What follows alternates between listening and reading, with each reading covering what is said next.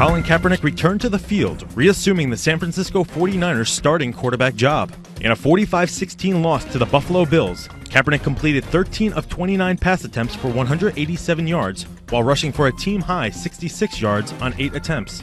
But it was Kaepernick's opponents off the field that made the most noise. When he kneeled for the national anthem, joined by teammates Eric Reid and Eli Harold, chants of USA broke out across New Era Stadium. Kaepernick addressed those critics who feel his stance for social justice and equality is un-American, saying in part, quote, I don't understand what's un-American about fighting for liberty and justice for everybody, for the equality this country says it stands for. To me, I see it as very patriotic and American to uphold the United States to the standards that it says it lives by. As he took the field, thunderous boos rained down on the embattled quarterback. Despite the outpouring of hostility directed at Kaepernick, he was focused on football and the Buffalo Bills, saying that he wasn't really listening to what was going on in the stands.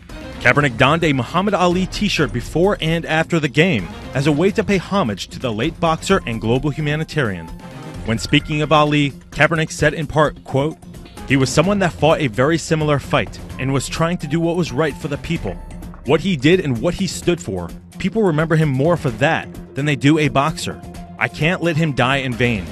I have to try to carry that on and try to fight that same fight until we accomplish our goal. Kaepernick has stated that he will continue to exercise his constitutional right as an American, kneeling as a form of peaceful protest against the oppression of black people and the ongoing onslaught of police brutality facing the black community.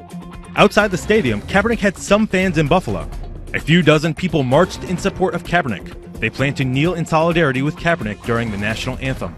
Meanwhile, a number of savvy entrepreneurs tried to capitalize on people's hatred for Kaepernick, selling hateful t shirts like this one in the parking lot. Some Bills fans took a different approach to exercise their American freedoms.